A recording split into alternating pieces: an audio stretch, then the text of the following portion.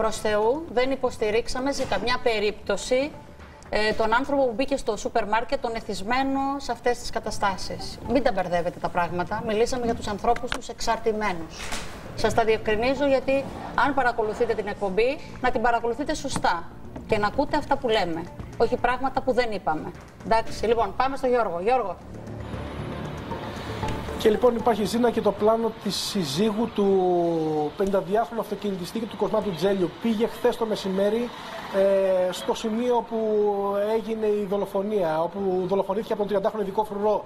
Πήρε το χώμα πάνω στο οποίο υπήρχαν οι κοιλίδες αίματος ε, του θύματος και όπως κάνουν στην περιοχή από ό,τι εμείς ενημερωθήκαμε, τις μετέφερε σε ένα ε, ποτάμι που βρίσκεται σε πολύ μικρή απόσταση από το σημείο της δολοφονίας. Εκεί πέραξε το χώμα μέσα στο νερό ε, και αυτό το κάνουν όπως μάθαμε εκ των υστέρων για να μην πατάει ο κόσμος ε, το αίμα του, του νεκρού. Είναι κάτι το οποίο γίνεται στις, ε, στην περιοχή εκεί πέρα.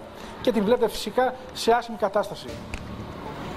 Δύσκολες ώρες για την οικογένεια. Βέβαια, όλοι κρατούν μια στάση οι οποίες αυτό το έχουμε ξαναπεί.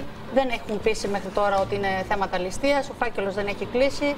Ε, η έρευνα θα προχωρήσει και παρακάτω και περιμένουν ε, εν ολίγης και ε, άλλα πορίσματα που περιμένουν. Δηλαδή, εγώ. Άρχισα απορρίτου, ναι. Ναι, το, τα τηλέφωνα, ναι. τις συνομιλίες και όλα αυτά. Έτσι δεν είναι, Γιώργο μου, για να το ολοκληρώσουμε.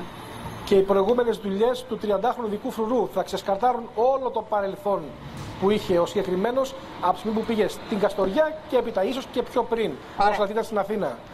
Άρα υπάρχει πολύ δρόμος όπως προείπες. Πάμε τώρα στο θέμα για το οποίο και βρίσκεσαι στη Λάρισα, καθώς όπως είπα και από την αρχή της εκπομπής τους τηλεθεατές, ενώ βρισκόσουν στην Καστοριά.